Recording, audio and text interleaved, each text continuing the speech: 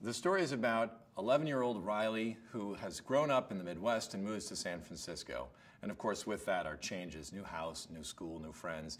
But Riley is actually the setting because the actual story takes place inside her mind. And the main characters are her uh, emotions anger, sadness, fear, disgust, and of course, joy.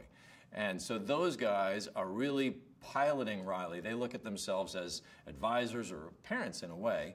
They're trying to drive her through uh, every uh, interaction in life, and they all have very passionate ideas of the right way to approach something. Fear generally involves uh, running away or avoiding it. Uh, anger generally wants to hit somebody. Uh, joy just wants to embrace it and run in and try new things. And so it's really the uh, tension and the fighting between all those characters that makes for an interesting life. And I think they're, they're, they're, they're kind of like the voices inside of our heads.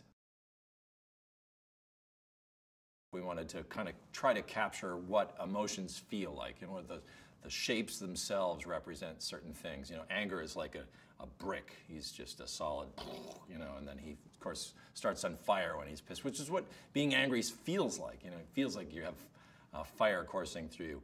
Uh, fear is like a vein or a, a, a nerve, like a really kinked up, you know, nervous guy. Um, and, and disgust, we sort of modeled after broccoli, sort of shape and, and color wise.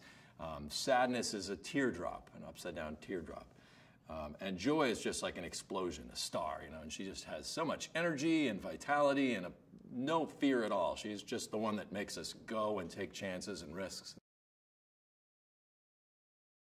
Inside Out is a film that takes place inside the mind, which is a place that everybody has been to, but nobody's ever seen before. And it is possibly the largest set that we've ever built. It's a huge place. Uh, and so there's an incredible scale and scope. The adventure is huge and yet also very intimate because the film is about these characters who are emotions. Um, you know, the, the, the sort of crux of the story and the, and the emotional punchline, if you will, is very intimate and small. So it has fun, it has adventure and scope, but it's also got a lot of heart to it. My daughter, who is, she was about 11, her name is Ellie, and she did the voice of young Ellie in, in Up, if you remember that film at the very beginning, the spirited, spunky kid who you know, is running around like a crazy person with hair out to there. And my daughter was actually kind of like that as a young kid, and she was getting older and more quiet and withdrawn. And I went through some really difficult times as a kid, uh, in, at about that age. And so I was kind of keeping an eye on her, going, oh, I know what she's going through.